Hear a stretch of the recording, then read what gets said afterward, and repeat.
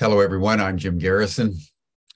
And in the spirit of the trees, in the spirit of living nature, of which we're an integral part, and with deep gratitude to all the generations before us that have brought us to the present moment, I want to welcome you to this session of Humanity Rising as we embark on day eight of a 10 day program contemplating the utility and inspirational value of nonviolence in our shattered world.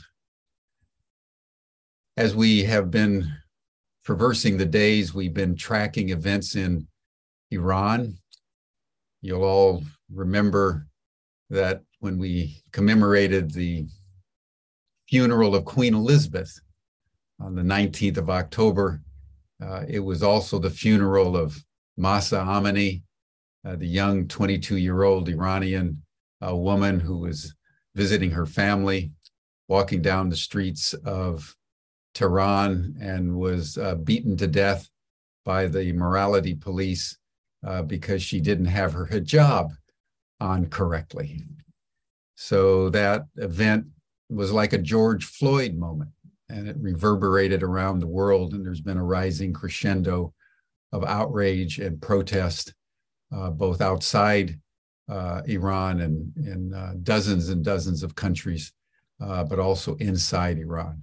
Uh, we were fortunate that uh, Banafsheh Sayad, uh, who was born in Iran, whose family has endured exile from Iran and has been active in the Iranian community for the last four decades, was um, with us and has been focalizing energy as we day by day discuss violence and nonviolence and how we can effectively uh, generate real social change uh, in the world. Uh, so I would like to uh, invite Banafsheh uh, on, uh, who will give us an update, lead us in our usual coherence breathing, centering, and then tee up our program. So Banafsheh, thank you so much for everything that you're doing as we, you've been uh, generating interest and attention on what's going on in your country of origin. Thank you so much, Jim, and hello to everyone. Um, thank you for your attention to, to Iran. Uh, because the government um, of Iran is severely um, restricting internet access, the news is very sporadic.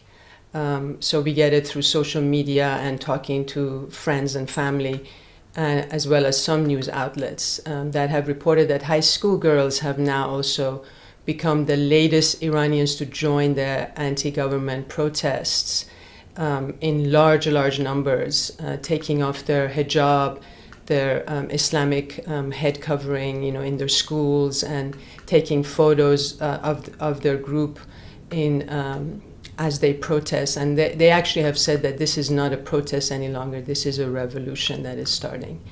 As um, the country has been mourning uh, a 17 year old um, victim, uh, Nika Shakarami, who was also killed um, in the first days of um, the uprising, by, by, led by the women. Uh, there's a real unity uh, among the Iranians, both in Iran and outside of Iran. And this is something that we have uh, not seen in a long, long, long time. So people are mobilizing and uniting around this cause, um, this outrage um, because of the murder of Mahsa Amini. Uh, but many, many people have assessed that this uprising is doomed to fail and it's doomed to be crushed under the boots of the uh, revolutionary guards. That, after all, is the history of the Islamic Republic of Iran.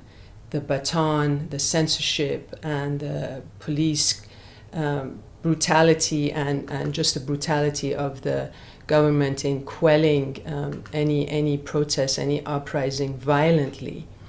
Um, the uh, so if the past is a tutor we hear it is easy to write the obituary of this round of protests people say um, the women's wing in evin prison is a living monument to the repression of women's rights um, the hijab has become uh, a central symbol of um, revolutionary morals for, for the regime.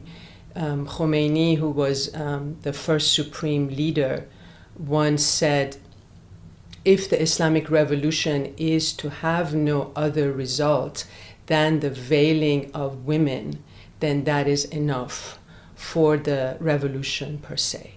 So this is what we're living um, living through these days, but it is so so important for us not to lose hope.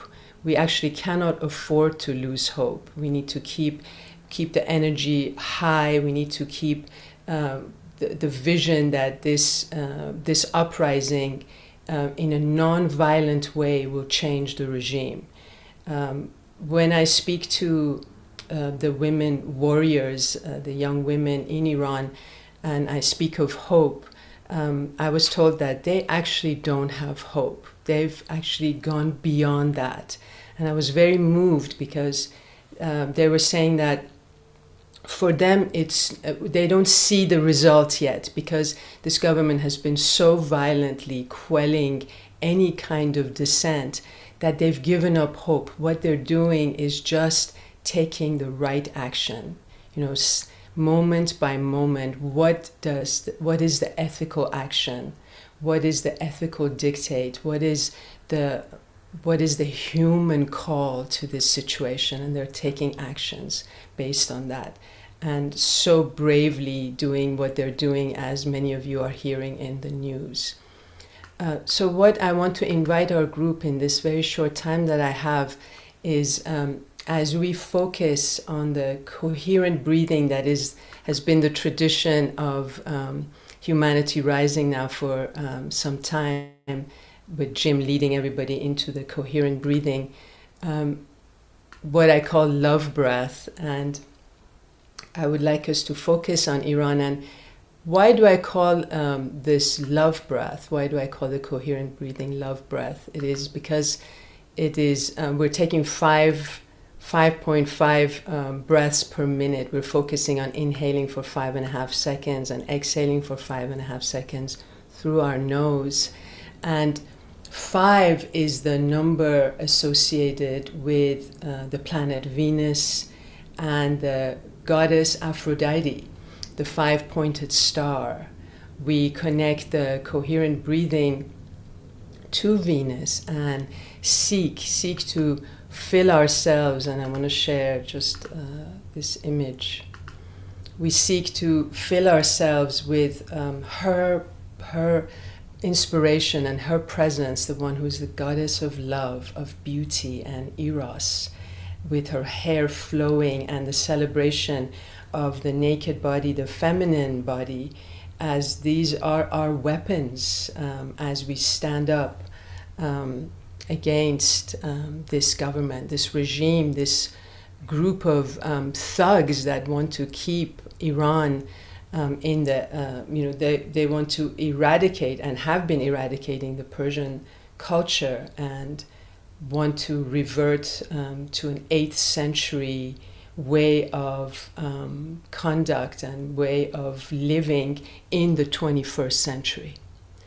Um, so I invite us as a group, as we go into our coherent breathing, to ground ourselves in peace and then focus on sending light, sending love to these brave, brave women and men of Iran.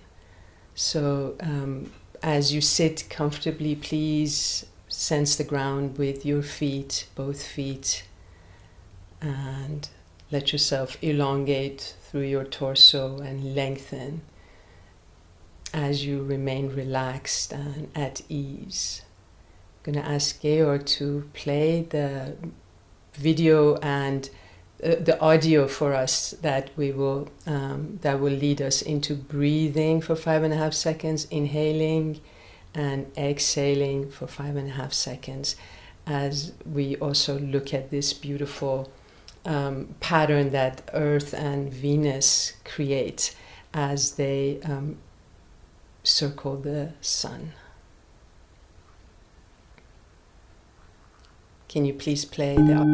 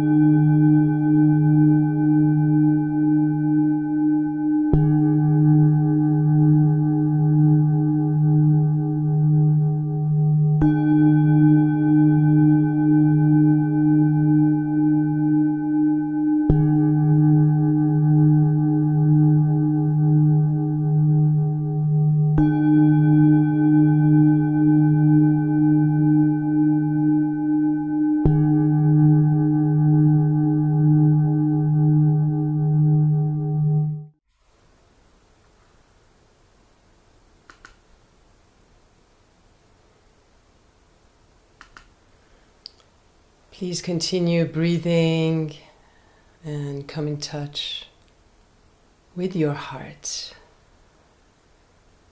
Breathing in and out of your heart space.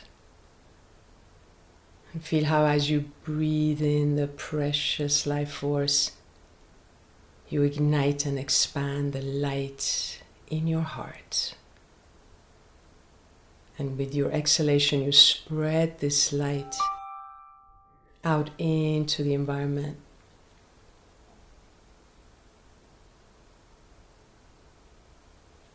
Now, please connect your heart with the hearts of those on this call from different parts of the world.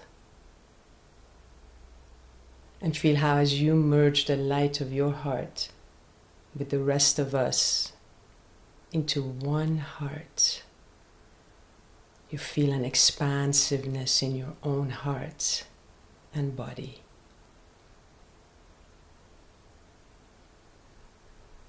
Can we together beam this light into Iran? Feel yourself beaming this light into the hearts of the brave women and men, the girls, the boys who are standing up for their right to live as free human beings.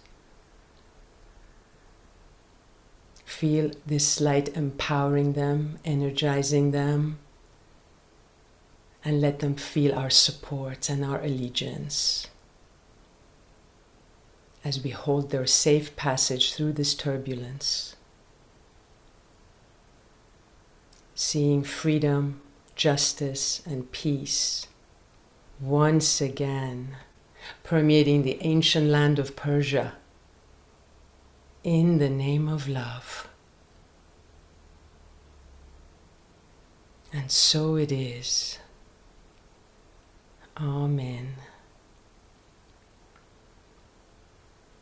And when you're ready, please open your eyes if they're not open already and behold this beautiful graphic of Mahsa Amini, the messenger of Ma, the great mother, in front of the map of Iran, holding the hijab or the Islamic headdress as defiance and an emblem of peace to come.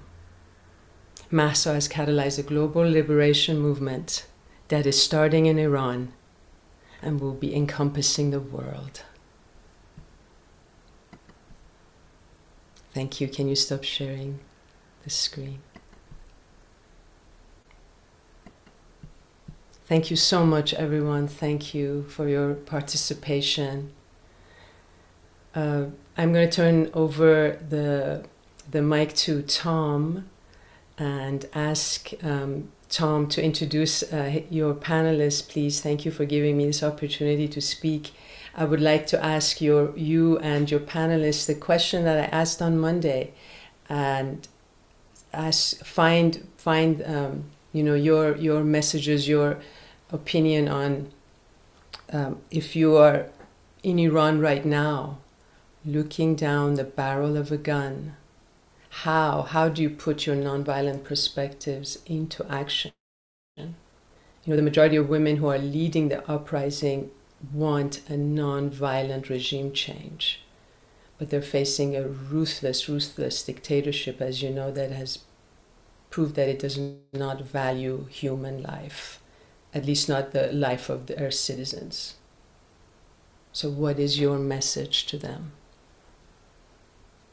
yeah, thank you, Banafsheh. It's uh, just been fantastic that you were able to join us last Friday and again this week, and uh, and being able to provide us with updates and connection to what's happening in in Iran. Um, your question is so important, and I was delighted that you know we had uh, Stephen Zunes with us earlier this week to share how the women in Sudan responded when uh, when there was the uprising in in Sudan. And I'm confident that the panelists we have today will be able to provide other real examples of what the women and girls in, in Iran can do um, that's effective, that's work, that can work. And uh, most importantly, I want to make sure that the, the women and the men in Iran continue to have hope. And I, I do understand and I do appreciate your, your comment that it's beyond hope right now uh, for many of them, uh, and their convictions are are beyond just hoping. But I, I, do want them to know that they're not alone, and that um, the, the, world is watching and is, is in support. Um, what we'd like to do is just quickly uh, show a quick uh, trailer of the third harmony that my uh, my dear friend and, uh, and colleague um, Michael Nagler um, uh, was a writer and, and uh, director of. Michael's uh, professor of classics and comparative study, uh, comparative literature emeritus at the University of California, Berkeley, teaches in a peace and conflict studies program he founded on the campus in the 1970s. In addition to teaching at Berkeley, he speaks frequently for media and the general public on issues of peace and nonviolence and does presentations around the world for the Blue Mountain Center of Meditation. Michael's written six books and contributes articles frequently to Tikkun, Yes magazine, and many other progressive journals. He's consulted for the U.S. Institute of Peace and many organizations and projects dealing with nonviolence and world peace. Michael's the founder, president of the Metta Center. Welcome, Michael. And Georg, if you can uh, tee up the, the uh, film trailer.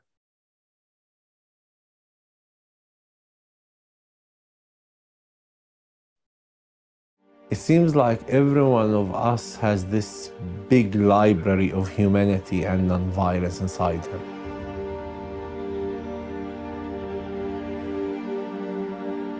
One thing we have in common as individuals, as human beings, is the power to show love.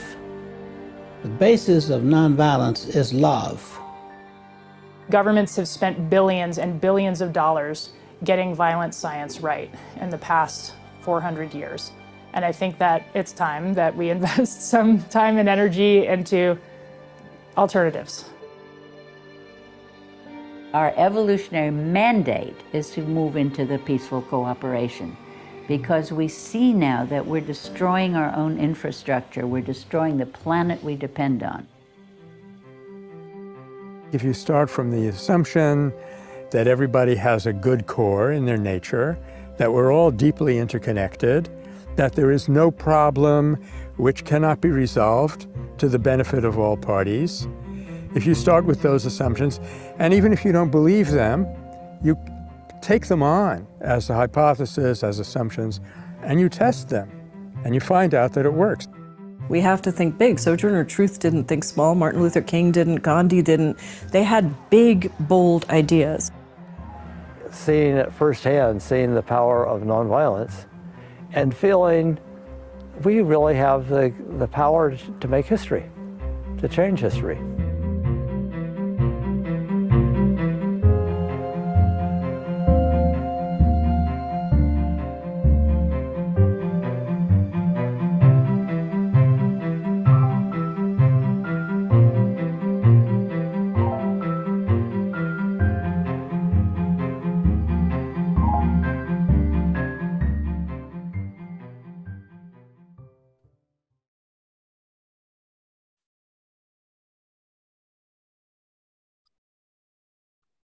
So I'd like to introduce our uh, extraordinary uh, group of panelists uh, today. We have um, we have a uh, a wealth of uh, of panelists who have done some extraordinary work in the uh, in the nonviolence arena, and we're incredibly fortunate to have each of you each of you joining us today. So let me start with. Um, introducing each of our uh, each of our, our uh, panelists. Rivera Sun is an author, activist. Uh, she's written numerous books and novels, including The Dandelion Insurrection and the award-winning Ari Ara series. She's the editor of Nonviolence News and the program coordinator for Campaign Nonviolence. Her articles are syndicated by Peace Voice and published in hundreds of journals nationwide. Rivera Sun uh, serves on the advisory board of World Beyond War and the board of Backbone Campaign. Michael Beer has been director of Nonviolence International since 1998. Michael's a global activist for human rights, minority rights, and argues against war and casino capitalism. He's trained activists in many countries, including Myanmar, Kosovo, Tibet, Indonesia, Thailand, Cambodia, India, Zimbabwe, and the US. He's a frequent public speaker on nonviolence and has been broadcast on C SPAN, CNN, and other major media outlets. Michael's a co parent of two children with his life partner, Latanya. Ivan Marovic uh, is an organizer, an educator, and social innovator who currently works at the International Center on Non-Conflict, uh, Nonviolence Conflict. He was a student organizer and one of the leaders of Otpor, a resistance movement which played an important role in the downfall of Slobodan Milosevic in 2000. Ivan holds a BSc in, in process engineering from Belgrade University and a master's in international relations from the Fletcher School at Tufts University. He currently lives in Washington, D.C. Mary Hanna hails from Detroit, Michigan, though she's made her home in Laingsburg for many years now. She re- received her master's degree in behavioral disorder from Vanderbilt University and worked as a counselor, case manager for community health, mental health for 20 years before becoming the operations manager for the Meta Peace Team in 2005, where she coordinates both Meta Peace Team violence de escalation skills training program and her internship program. She has served on both international, uh, international and domestic peace teams throughout the US in Palestine, Israel, and the US Mexico border. Additionally, she became the Pax Christi Michigan State Coordinator in 2015. It was named a Pax Christi USA Ambassador of Peace in two, 2000, uh, in 2022. She currently uh, is working on a handbook for domestic peace teams Mary's committed to compassionate, assertive nonviolence, social justice, creative peacemaking, and the spiritual underpinnings that make it all possible.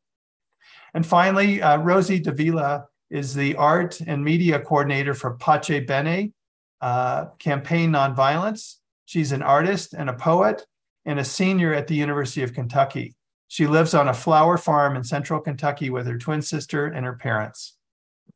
Welcome, everyone. Rivera, why don't we start with you? And uh, if you could just give us a quick uh, overview of where nonviolence is uh, happening in the world and uh, some of the results that we're seeing. Uh, amazing campaigns that you're very attuned to.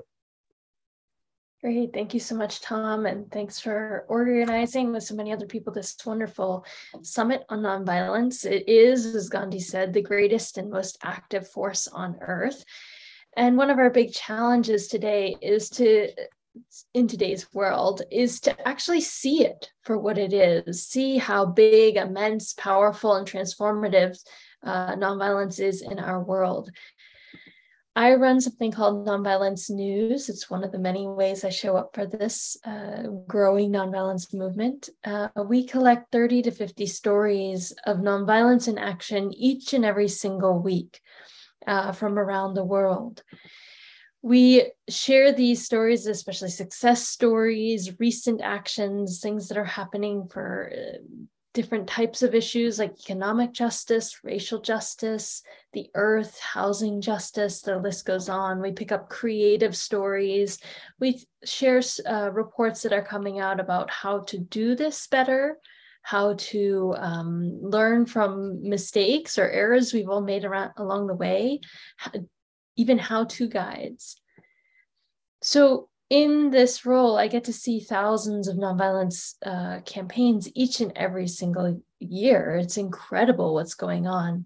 And I thought today I would just uplift some of the success stories from the past year, some of the recent actions, and some um, takeaways, things we can learn from it to get the ball rolling for today's great conversation. Uh, most recently, Sri Lanka actually ousted their president over an economic crisis, and they are now in the midst of following up that success with actually getting a leader in power that they feel is going to make an actual difference in that. We'll talk a little bit about that later. Another story I'd like to uplift that happened just recently in the past uh, two months is the people in Panama actually won a 30% price reduction on all essential goods, which is pretty incredible. They're part of a rising trend of cost of living protests going on. South Korean truckers uh, this summer ground the uh, almost ground the entire international shipping trade to a halt with a very well coordinated eight day strike that won minimum wage guarantees and fuel subsidies.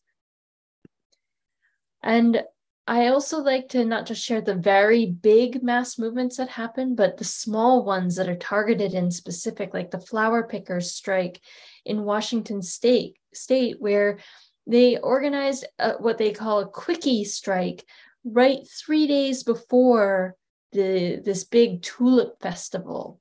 Uh, and indeed, they won their goals, which were modest in the relative scheme of things, but incredibly important for their uh, workplace safety and their health and well being. We also like to share stories and reports that are coming from the kind of the, the long arc of change. Things like looking at how the Pacific Northwest defeated 70% of all the major fossil fuel projects that came across its plate in the past several decades. This is pretty remarkable when you think about it. The majority of these campaigns involve some type of nonviolent action. And these major fossil fuel projects were big projects. Um, one of the things we lose sight of oftentimes is the long arc of what we're doing. So we tend to track our, our failures or our setbacks very well and feel those very deeply, but we lose sight of what happens when a region gains skills year after year, struggle after struggle, campaign after campaign, and actually holds a line in the sand on an important issue like uh, fossil fuels. So here's a few other notable stories that I'm going to uplift today uh, that come from Nonviolence News in the past three months. Colombia has had a number of stories, but one of the ones that caught my eye and attention were their nonviolent youth patrols. They're doing direct counter recruitment and keeping children, especially, out of the pathway into the, the multi pronged armed conflict that has been going on for decades. And they're actively organizing a different kind of, let's say, peace army or nonviolent army and training young people in not joining militaries and gaining nonviolent skills and protecting their communities with peace building and nonviolent tools that I'm sure Mary will talk about later. We see these uh, at home uh, domestically here in the US. A great example happened in Minneapolis, where uh, these young men replaced the use of cops in the schools. We also like to uplift specific campaigns that are very targeted and, and local, but doing great strategic work, uh, like this campaign in South Dakota to call out a, um, a racist hotel owner. Also, some of the campaigns that happen are so big and bold that they make us rethink the whole way that we see the world. And the Zapatistas definitely have a long history of this, not all of which is nonviolent, but this particular campaign where they re-invaded Spain uh, in a um, act of creative, imaginative, nonviolent action was certainly one of them. So in nonviolence news, we also see trends, patterns that are emerging in these many, many, many nonviolent struggles that are happening. Things like protests of survival, cost of living protests are on the rise around the world. Uh, we see that labor uprisings are taking off, uh, particularly not just in unionization campaigns, which are rising, but also in um, outside of the, the established unions. So starting new unions like the Mexican General Motors workers, um, or wildcat strikes or labor organizing outside of a union framework. We also see that uh, as the housing crisis rises, so does resistance to it. And uh, particularly across Latin and South America, women's uprisings, uh, even prior to Iran's incredible uprising that's going on right now, uh, we're mobilizing more and more deeply year after year and learning from and with one another to stop uh, femicide, rape, uh, violence against women, to ensure reproductive justice, and a number of other goals we can also see trends of like who is emerging as leaders and certainly youth under the age of 18 need to be specifically mentioned in this because of the climate justice struggle in the US, the anti gun violence and school shootings, um, and a number of other issues. We're seeing, you know, college students 18 to 24 were typical uh, nonviolent struggle agents. We, we see them a lot in movements. But under 18, this is a growing force for change in our world, and they are powerful. So we can learn from one another's struggles. And in Nonviolence News, we try to do that learning.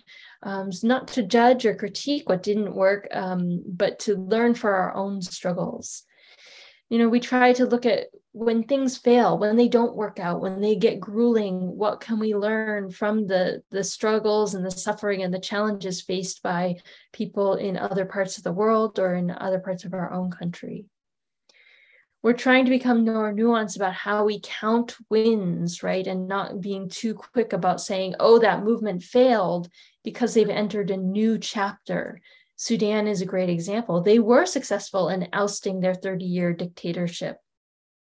They are in a new chapter of struggle to ensure a full democratic transition to a civilian led government. So, being nuanced about that.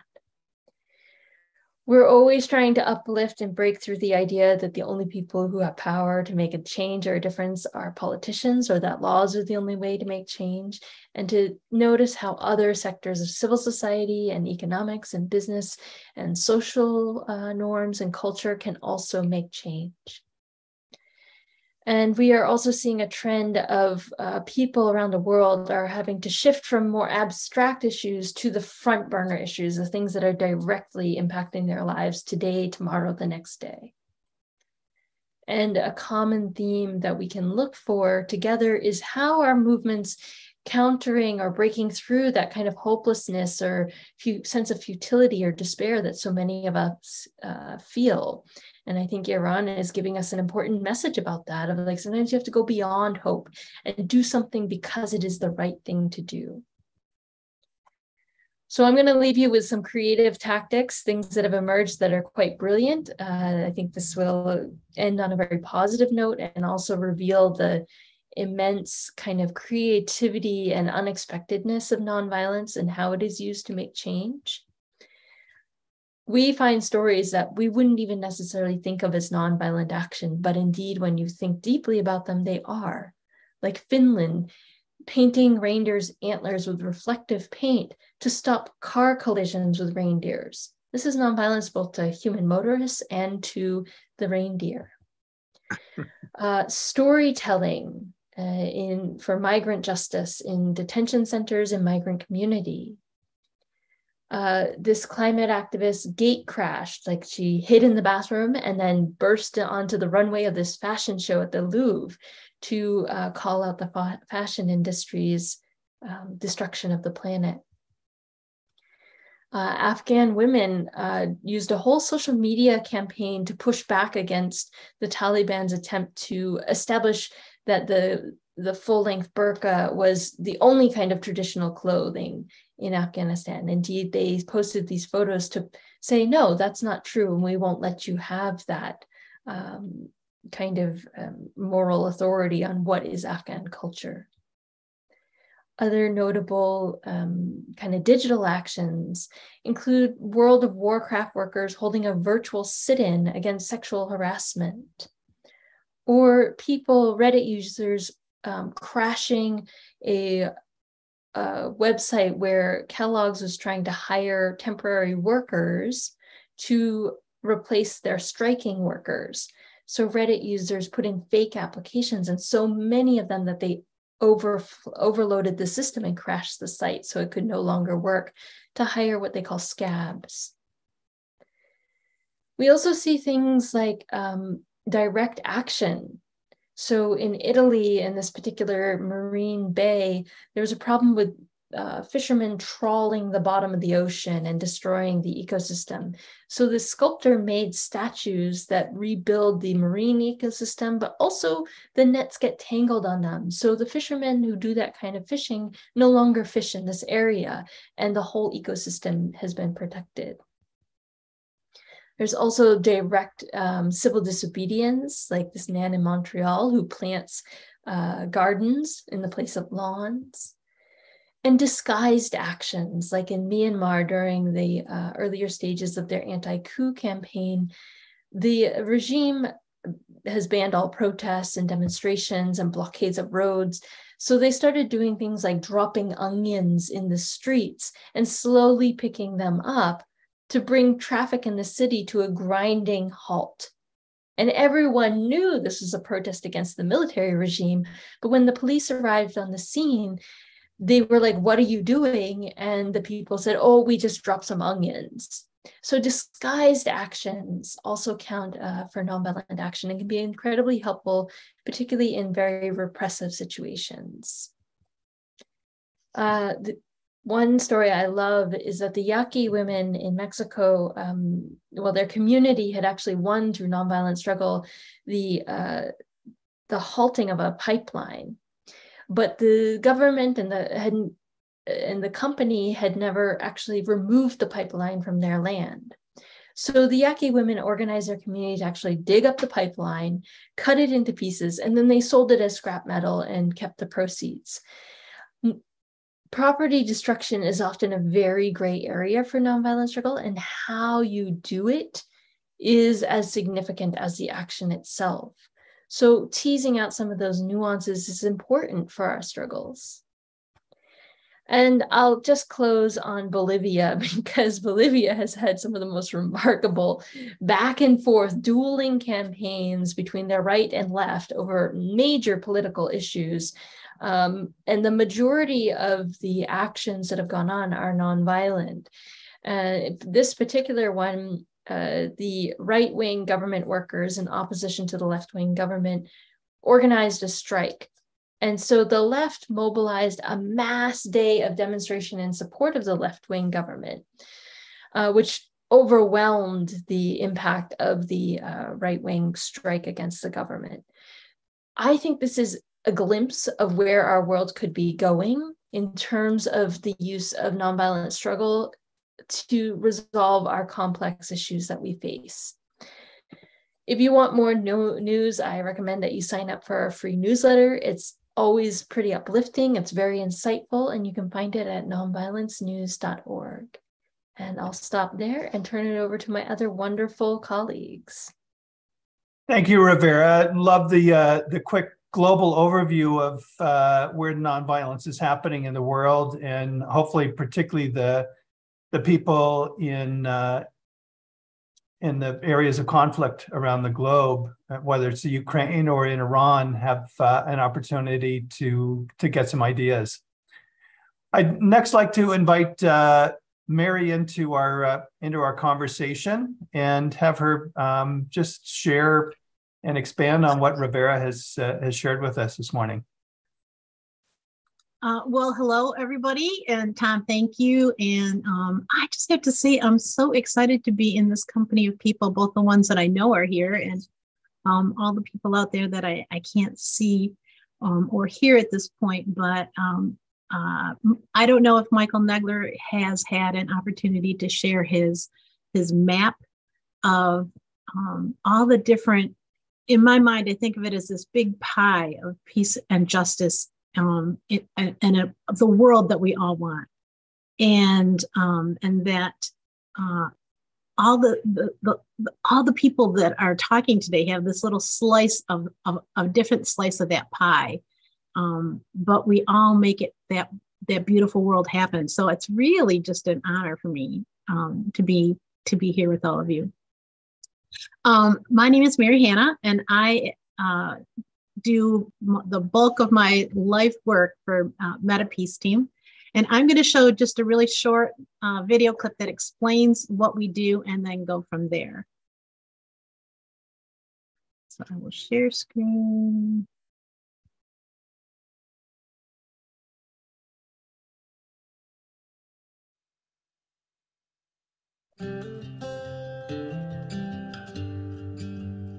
My name is Peter Doherty. I'm uh, one of the founding members of MetaPeace Team.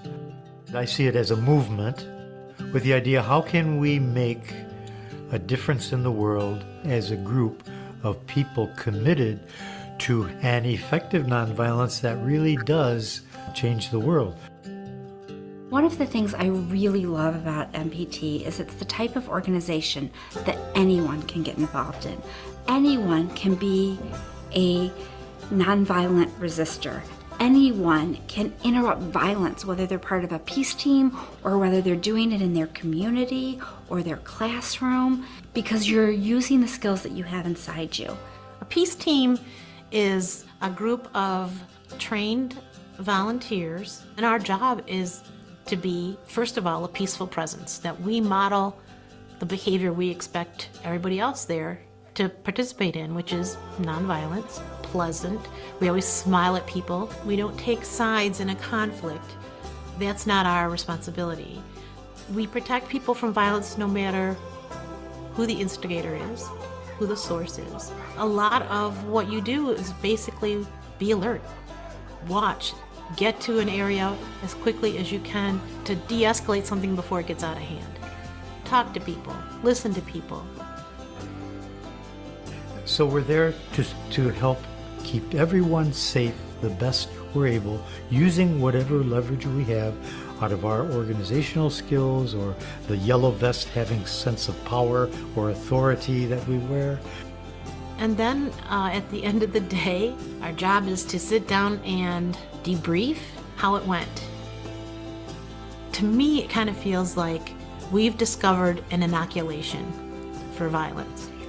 It might not work in every situation, but it definitely works. We've got the tangible proof that it works. And so, what we need is a way, first of all, to get people to know that this inoculation, this potential cure, exists. And then we've got to figure out a way of how to dis- distribute it, um, get it into the communities that need it, get people access to it. What we need is people trained in nonviolent de escalation skills, nonviolent intervention skills. Training is like uh, an experience into a different kind of world whereby you are taking a risk, you aren't sure what's going to happen, and we try to take people out of their comfort zone because the best learning is when you're in a bit of discomfort, whereby you're more alert and more receptive to learn things that are new. You're going to get a little bit of listening and communication skills. You're going to get a little bit of some concrete tools for being a third party that's intervening in a conflict where there's the potential for violence. You're going to do a lot of looking inside of yourself, um, all sort of grounded in the spirituality of nonviolence that MPT brings to everything we do. And then you may choose to go deeper into any one of those, and MPT has avenues to help you do that, or we can connect you with lots of other organizations and people and resources if you want to go deeper. In its own way, it's it's intoxicating because you see it work. You see that people's lives are saved and lives are changed and to know that you had a part in that? That your life is making a difference? That's um, it's compelling and it's exciting.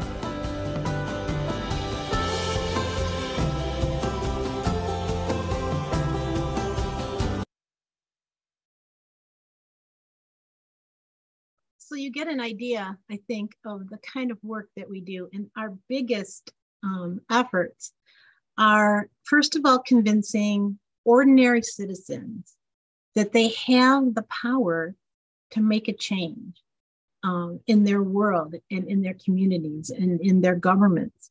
And um, if you think about it, to be violent doesn't take a whole heck of a lot of thought you're either hitting somebody with your words or physically. Um, but nonviolence is all about being creative. It's all about thinking outside the box. It's all about um, talking to each other and partnering with each other and collaborating with each other and um, and learning what works and what doesn't work and and how to do it different the next time. Um, there's a, a phrase from Maslow that if the only tool in your toolbox is a hammer, then every problem looks like a nail. And our job is to give people as many additional tools as they can so that when one attempt at nonviolence doesn't work, then they can reach into their toolbox and grab another. And if that doesn't work, they can reach into their toolbox and grab another. Um, we can do this at every level. Uh, we do it with children, we do it with high school students, college students.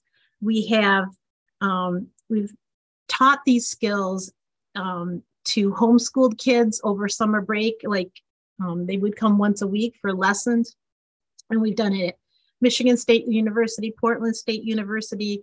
We've got a high school in Detroit that has um, gone through violence de-escalation and bystander intervention skills training every year um, as freshmen for like six years now, which means like every student in the school by the time they graduate has has been trained in how to de-escalate violent situations.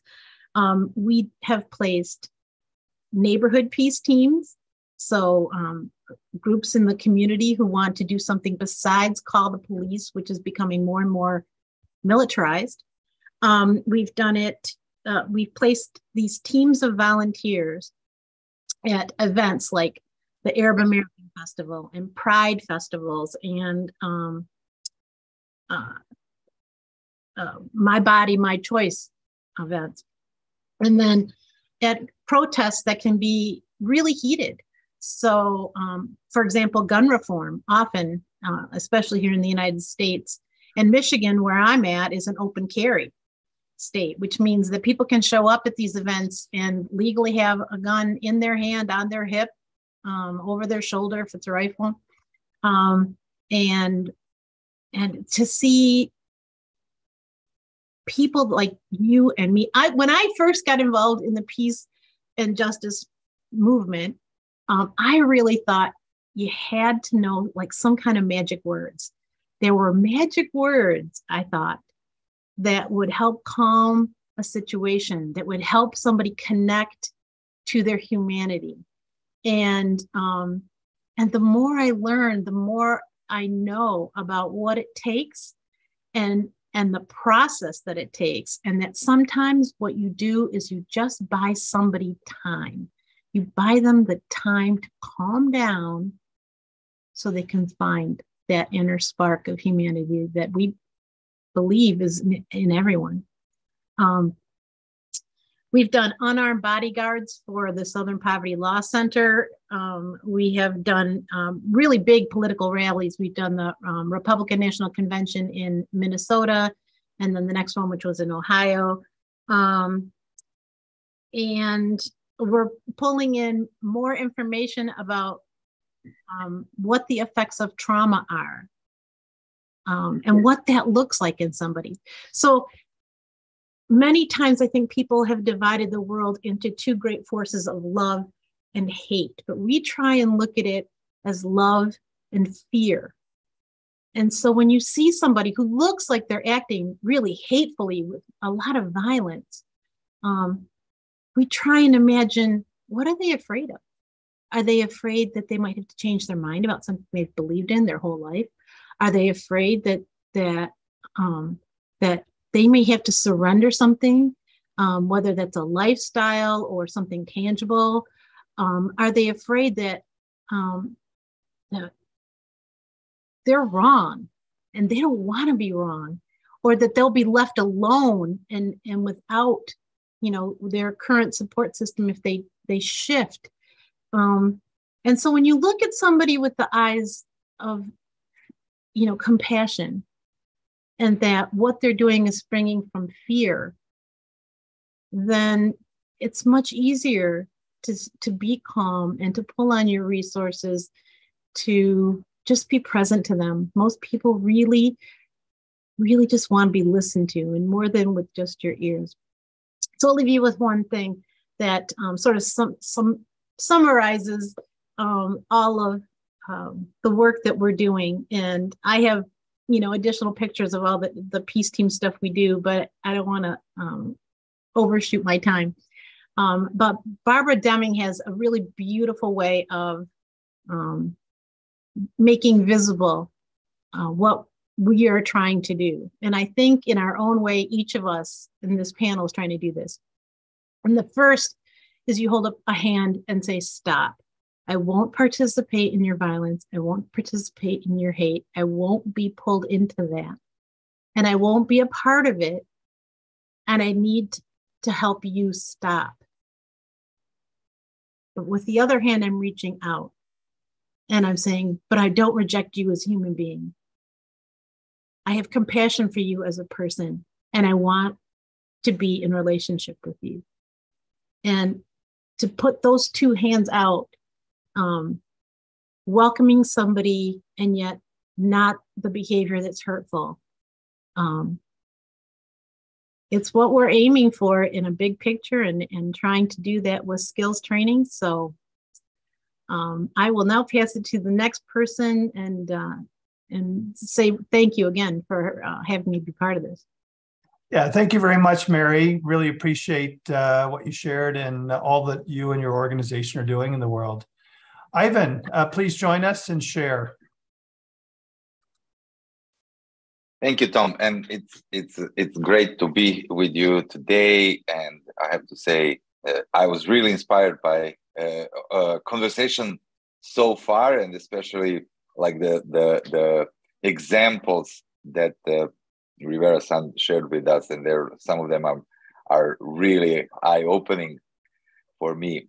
Uh, so my name is uh, Ivan and uh, Marovic, and I am uh, with the International Center on Nonviolent Conflict, uh, which has been, uh, how shall I say, in, in the field of, of civil resistance and nonviolent action for more than two decades.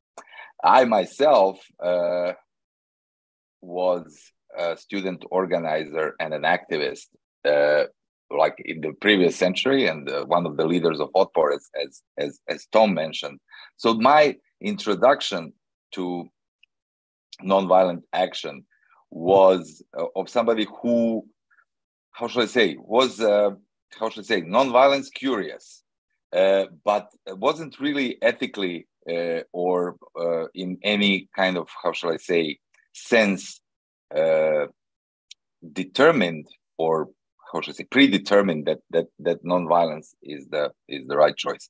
So from that perspective of somebody who is uh, just kind of interested in in uh, kind of any kind of uh, uh, political action and, and trying to see which one would work, I was convinced in nonviolent action from, uh, as I said, from my very first uh, exposure because of the ability of ordinary people to do it. And since I was like a student and uh, and didn't have uh, much of of how should I say skills or knowledge of how should I say understanding of the violent uh, action or any kind of armed uh, armed strategies. Uh, for me, it was kind of an obvious uh, choice. That was the only thing that I could do. And what is interesting here is that you know the case for for nonviolence only was building stronger as I was applying it. So it, it, was something like that's the only thing that I can do for now.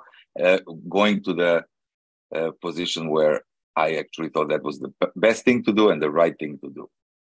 And so my work with the nonviolent with the International Center on Nonviolent Conflict, actually, which is a, a climax maybe of the 20 years that I've done uh, training, consulting, and uh, working with dissident groups uh, around the world who are facing different challenges, and they can be uh, social problems, political, uh, or even like economic and, and others. But they all play down uh, as a conflict in the society over uh, kind of particular issues that they're facing. And their choice to wage that conflict non-violently comes back again as in some cases i said the only thing that they could do and in some other cases the right thing that that that that they chose the right strategic choice so i've in those in those decades i've actually noticed this uh, method of nonviolent action being uh, uh, applied in very different countries. And i'll just kind of name name a few where i had like personal uh, encounter and i collaboration with uh, with activists from those countries. So for instance uh, a recent one and Rivera actually mentioned it is sudan. So sudan was a country ravaged by conflict when i met uh, uh, first activists who were in like 2013, 2014, following the floods, devastating floods, uh, they were actually organizing and supplying uh, citizens with uh, kind of help and aid because the government of Sudan was incapable of delivering that aid and delivering help for, for the people. And based on those, uh, how should I say, community programs that they that they kind of set up, which were ad hoc community programs, they started politicizing the issue of the, the inability of, of the regime to take care of, of, of its population. But they were facing a very uh, violent environment in which they were operating, and that was ravaged by political violence, the result of the like 30 years of brutal dictatorship and the civil war and and genocide and and and everything that was happening in the country actually left a mark on any type of uh, any type of organizing. When they were starting, uh, and we were talking for many occasions, like that was that seemed like almost like a an impossible thing. It looked like that that you know the Sudanese uh, would never believe that nonviolent action can actually attract enough enough people just because it looked like it's it's impossible and that like the political violence is infesting the whole country. But fast forward uh, several years down the road and through uh, this uh, how shall I say uh, concerted effort of of these activists of different organizations, professional associations, and trade unions, and students and others, they actually managed to uh, pull off a nonviolent uh, uprising in 2018 and 2019 and actually bring the uh, regime of uh, Bashir to, to an end and bring him down. Which doesn't mean that that the, that that everything was non-violent throughout that uprising. The regime was applying violence all the time against them, but they actually understood and persisted in in that non-violent strategy that uh, that uh, actually uh, brought about change in the end. And as Rivera said, this continues. This is not over, and usually it is not. And uh, and so usually the the struggle continues even when we achieve a particular objective. So I would like now use that example, but also compare it, for instance, to my first example, the, the one that I was uh, that actually brought me to this, uh, to kind of draw several uh, conclusions or maybe several, maybe even oversimplifications, but bear with me. So both in, in Serbia and in Sudan and, and in many other countries where, where I experienced and, and co communicated with, with, with activists and dissidents, usually uh, situation starts with expression of uh, kind of refusal to to to accept the the status quo. And that is usually in the form of protest in the form of voicing your grievances uh, kind of shedding light on injustice that is that is happening and usually filling filling the streets with the people who are uh, feeling aggrieved and they want to kind of put an end to this. So the initial uh, protest in the case of Serbia, let's say when I was involved, was the election fraud in the local elections. This was like something that usually people don't care much, but it was uh, such an injustice for us because we felt that our, our votes were, uh, how shall I say, uh, that our votes were stolen from us, that we filled the streets. In the case of Sudan, as I mentioned, it was the floods and uh, and the inability of the government to to kind of take care of the population following these floods.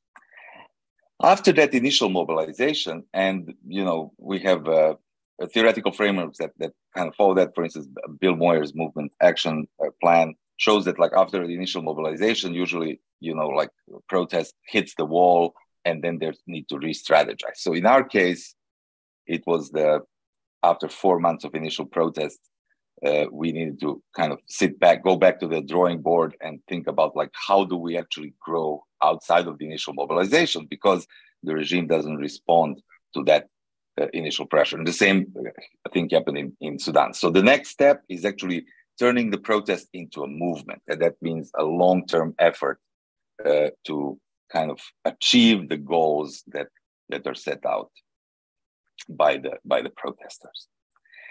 Then the the third step through and and yes another thing like the what movement usually achieves is that instead of just protesting and demonstrating in the streets these activists and organizers start using other tactics. And and i think rivera showed in the in in some of the uh, examples that she shared with us that what kind of uh, different tactics are there beyond protest.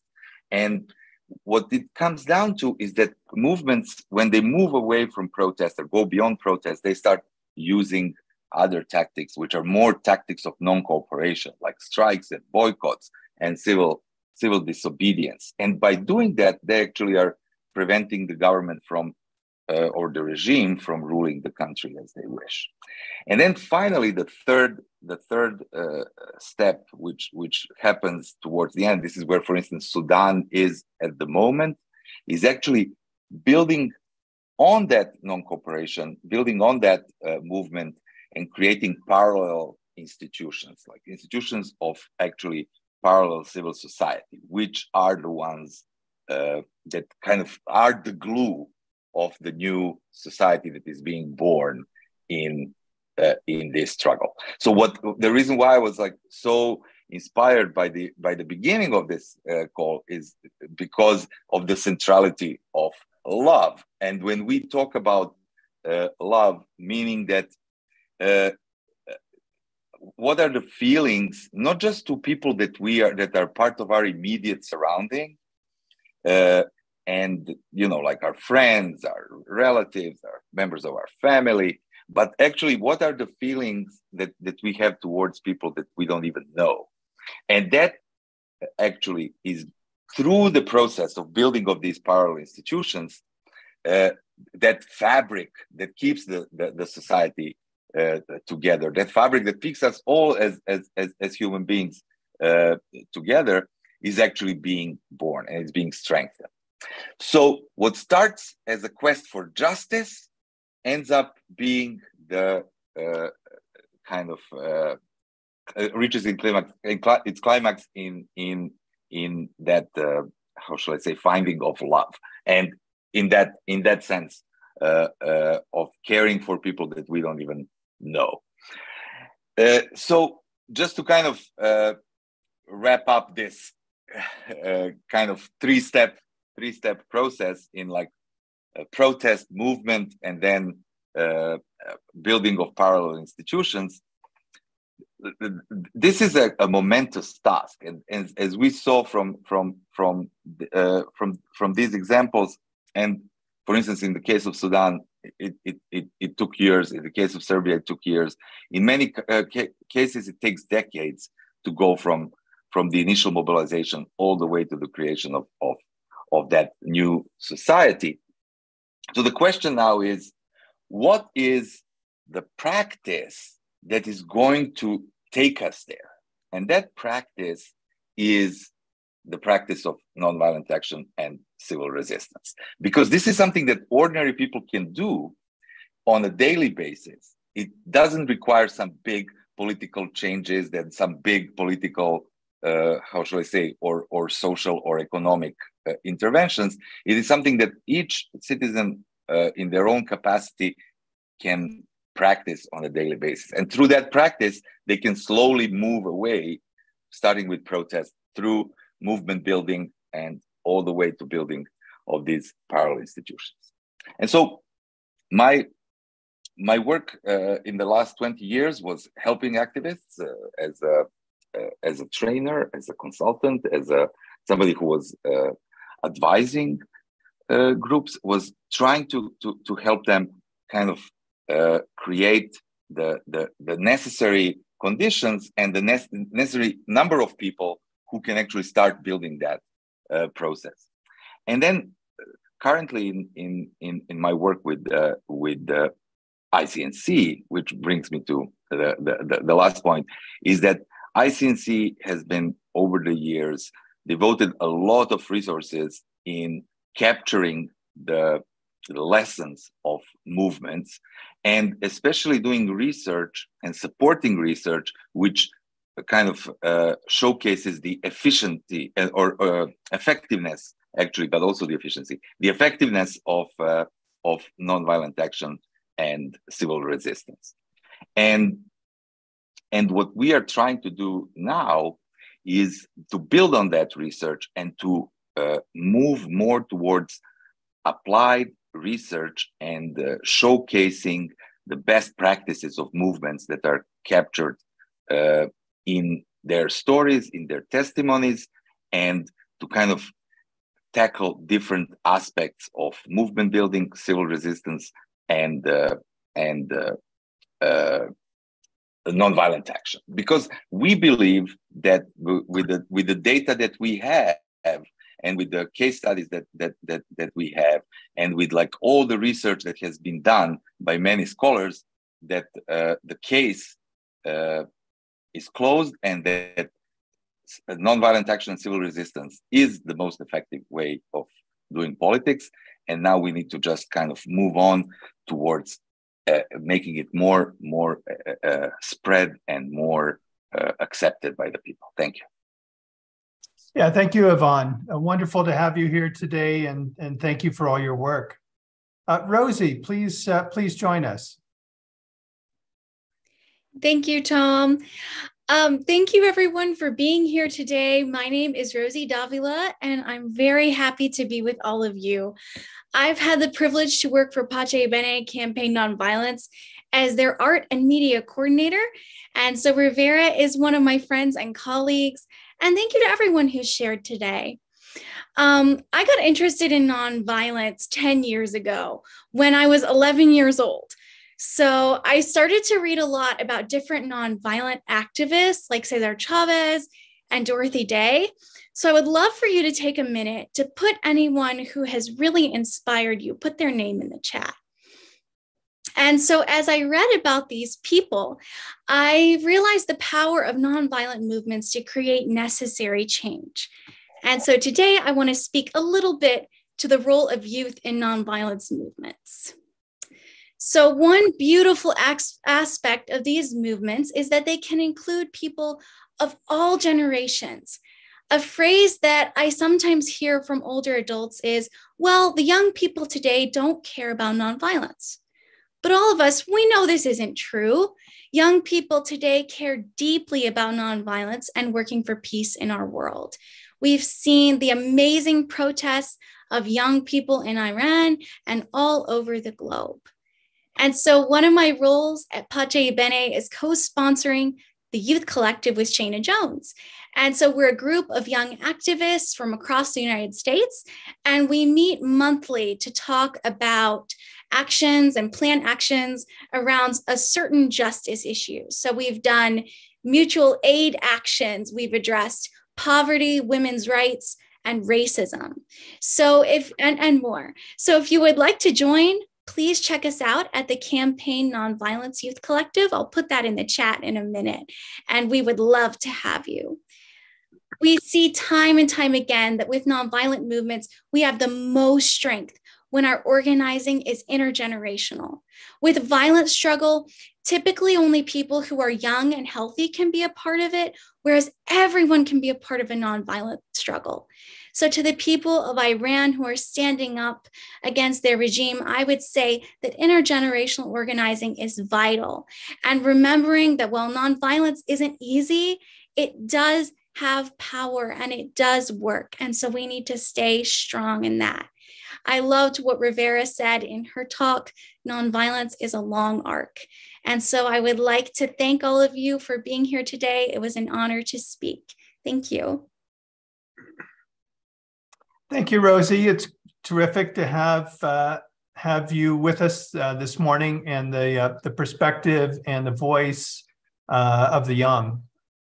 Uh, finally, I'd like to uh, invite Michael into the Michael Beer into the conversation.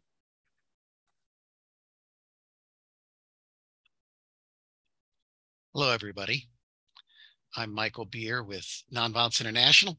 It is a privilege to be with you here today uh, great speakers, and I know there are people all over the world listening. And uh, to create the real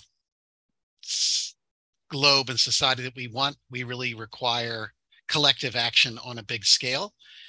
And today I will introduce what Nonviolence International is trying to do to help promote transnational movements, transnational campaigns, and organizing around the world, whether it's local or up to uh, the global scale because we are going to need everything in order to solve our problems. Um, and with that, I will share a screen and uh, jump right in. Can you see uh, screen? Um, Nonviolence International, building a global culture of nonviolence, building a hope in troubled times. Founded by Mubarak Awad in 1989, a Palestinian leader. And we've been promoting nonviolence around the world that time.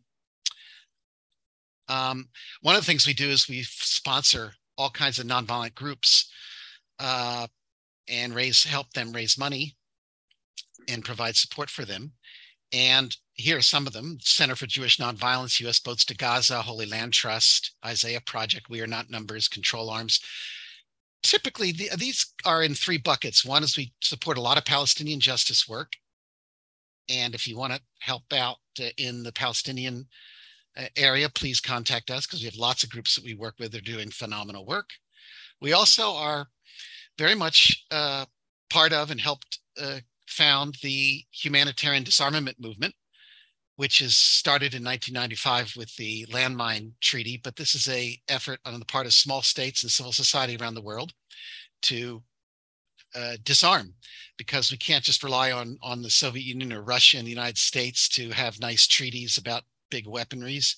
We really need the whole world uh, involved. And we know that the imperial powers uh, are not really likely to put in the kind of uh, disarmament treaties that we really need. So we started a uh, a movement around the world to start banning weapon systems with landmines, cluster munitions. Now we have the Treaty for the Prohibition for Nuclear Weapons and others. So please join us in in in supporting groups that are working towards humanitarian disarmament. And then we also support training and nonviolent action groups around the world. Uh, one of the things we do is we collect nonviolent tactics. We've collected 350 in a database. You can find that at tactics.nonviolenceinternational.net. I'll put that in the chat. And we've uh, continued to collect uh, tactics from all over the world. And the idea here is that nonviolence is enormously powerful and uh, creative we really now in the contemporary era have nonviolent resistance going on in all of the 200 some polities of the world, countries of the world on almost a daily basis. I mean, the scale of nonviolent action now is just absolutely amazing. And we're trying to capture a little bit of it in a database. And we would welcome your help to try to add to this database if you know of new nonviolent tactics that we should be should be adding or new examples that we can add to the database, please uh, let us know. Um, we have, uh, I've written a book about nonviolent tactics called Civil Resistance Tactics in the 21st Century. Ivan's group, the International Center for Nonviolent Conflict, has published this book in English, Farsi, and Spanish. And what we've done here is we've really tried to categorize the enormous universe of nonviolent action. Uh, and we've done so looking at how does nonviolent action and tactics really work. And the way nonviolent tactics really work are through controlling resources. On the orange, you can see on the left-hand side, there are three things you can do to control resources. You can, you can do things by saying things or communicating. You can not do things, or you can create and do things. And these are the three ways that nonviolent movements uh, uh, make things happen through controlling resources. And then in the uh, other uh, axis, you can see the nature of tactic inducements. Uh, you can either con confront or you can be constructive in your nonviolent action. Uh, we heard earlier Ivan talking about parallel institutions, which would be on the constructive side. We've saw a lot of uh, examples uh, from nonviolent news of uh, people expressing themselves in very creative ways. So I think it's helpful to understand that there is just an enormous uh, array of nonviolent action that is being carried out and we're trying to capture some of that in this in this book that I've written and in this uh, categorization of nonviolent action. Art is resistance. Here's some of some brief examples. Uh, certainly the arts are immensely creative and important. Um, sousveillance is a wonderful technique in which, of course, the corporations and the government surveil us from the top down, but sous is the French word for under. We uh, surveil the police, we surveil the authorities, and we reveal their misdeeds. Um, Cacerolazo is a started in Chile in 1970-71 and is a way of, of banging on pots and pans to get your your message across. Digital games and digital resistance. There's all kinds of wonderful things being done in that regard. Murals is another thing we see beautiful murals on the on the walls of Palestine uh, and Israel uh, that the Israelis have put up to partition and, and take over Palestine. Die-ins are something that we uh, see all over the world. This was a die-in here is U.S. Uh, Jews supporting uh, human rights for, for Gazans in Lebanon. And flash mobs. These are uh, ways of organizing people very quickly. Uh, this happens to be in the downtown uh, Kuala Lumpur uh, people calling for uh, independence and freedom there. Um, so in addition to all these tactics that we do at Nonviolence International, we are really focused right now on campaigns and would welcome you to join us. Uh, one of these campaigns is nonviolent resistance to annexations. It will reduce the utility of war and militarism. There are four major annexations in the world today, and we really need to draw a line and say no to military occupation and annexation of any, any neighboring territory. And there are now these major ones that the UN has uh, declared to be really violations of international law. And if the world can say no to annexations and really prevent countries from doing this, we will uh, do a lot to reduce the causes of militarism and war because this is the the cause of much militarism and war. So we are very much uh, working with the Palestinians and their allies to resist the annexations of East Jerusalem and the Golan. We are uh, working strongly with the Sahrawis uh, to uh, support their efforts to end their occupation and annexation by Morocco.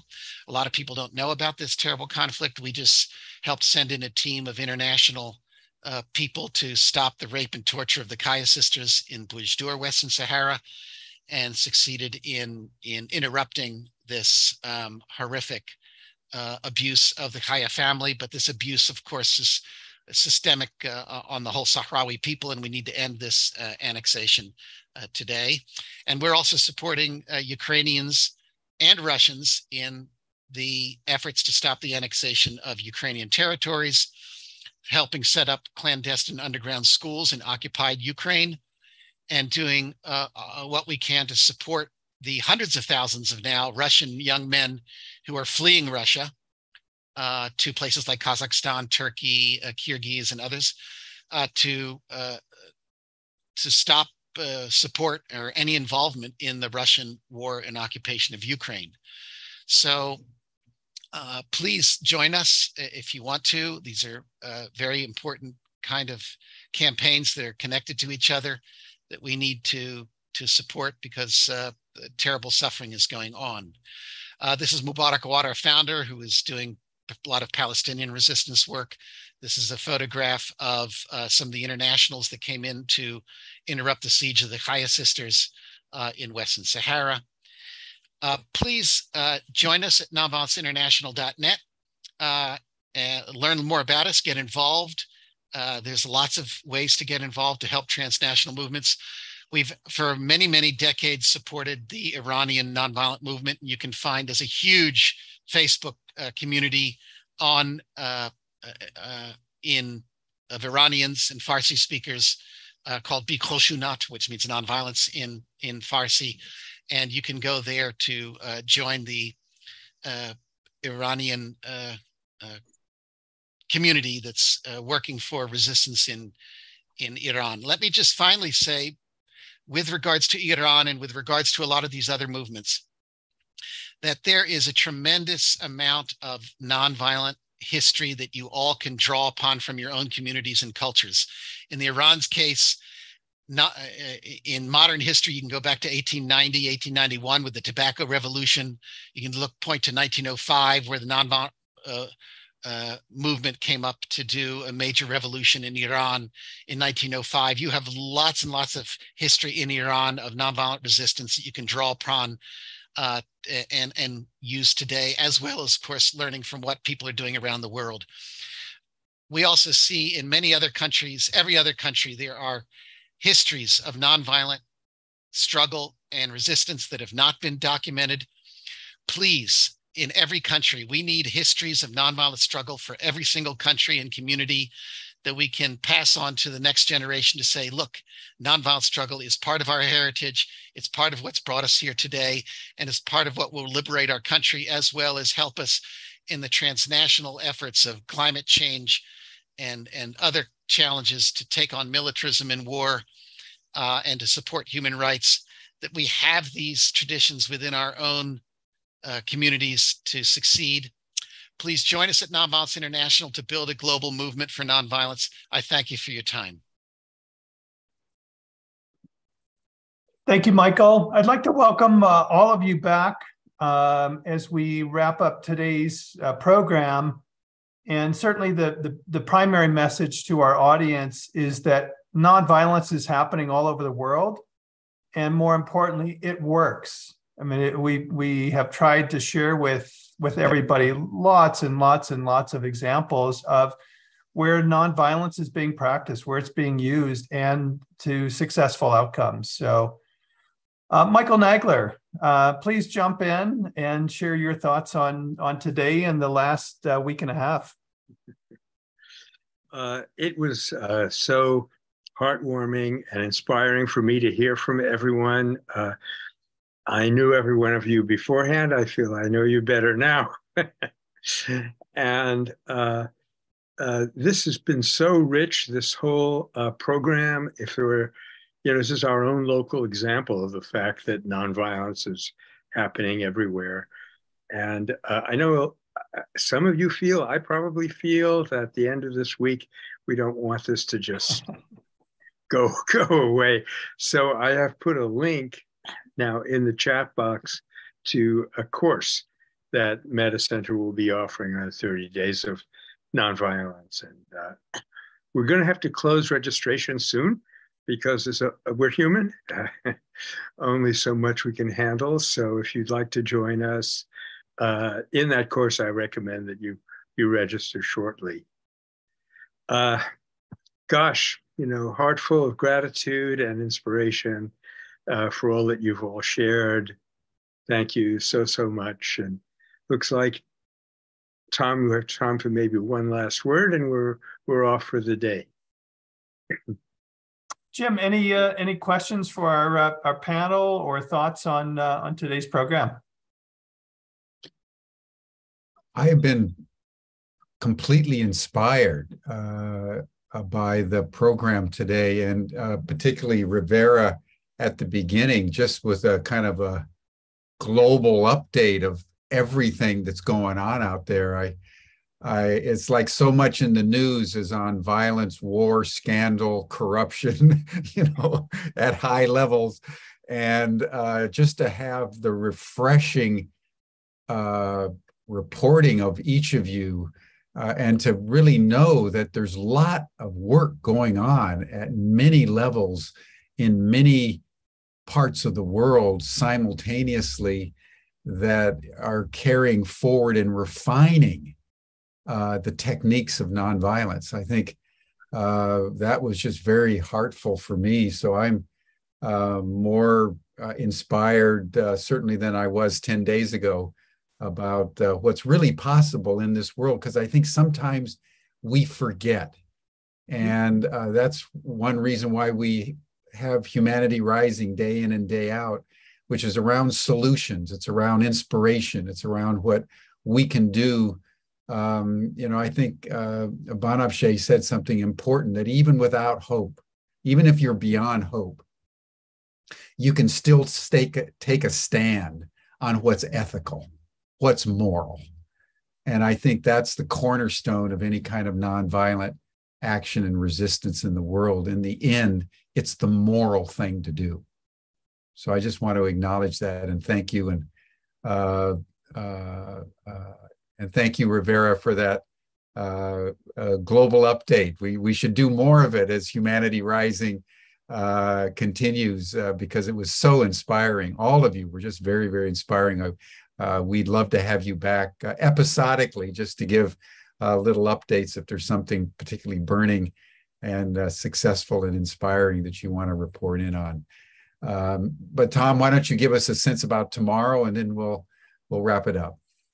Sure. Yeah. Thank you, Jim. And uh, once again, thank you all for being with us today. Um, tomorrow, uh, we're focusing on nonviolence, our bridge to the future. And, you know, we, we've talked about um, the third harmony in in the story, uh, the new story of humanity. But the reality is, uh, you know, the, in the film and certainly over the last week and a half, what we focused on is not the new story of humanity, but it's it's the old story. It's our original story that as a species, we're hard hardwired for collaboration and cooperation. And so, tomorrow we're gonna we're gonna focus on um, the bridge to the future and how nonviolence and returning to our, our original state um, will get us to the future state that we all hunger for. And uh, like today, we've got a, another extraordinary group of panelists who will will help us understand uh, all the work that's been happening in the world and how to, how we get there. Go ahead, Michael. Uh, Tom, somebody asked if you could talk about the link for the screening on Saturday of the whole film. Yeah, we'll we'll be working with uh, with Jim and the Humanity Rising staff to get an art card up um, and a link for for the screening on Saturday of uh, of the Third Harmony, and uh, we'll we'll the intention is we'll be broadcasting at the same time on Saturday that we do every week, or every day of the week. Cool. Well, thank you, Tom. Thank you, Michael. Thank you all. This has been uh, good for my soul today. Uh, and uh, so I deeply uh, express my thanks on behalf of everyone. and that'll bring us to a close, everyone. You're all welcome to the after session chat group. You'll see the link in the chat that Stan has put in. And we'll see you then tomorrow for day number nine of a 10 day program on uh, nonviolence in our world. Thank you, everyone. Bye for now.